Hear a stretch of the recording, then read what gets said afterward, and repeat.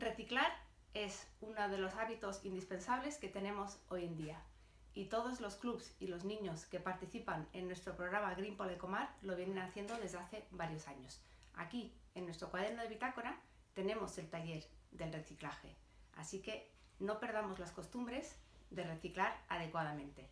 Este cuaderno, a través de nuestra página web o en los centros Green Polecomar, se puede encontrar, así que si no lo tenéis, poneros en contacto con nosotros.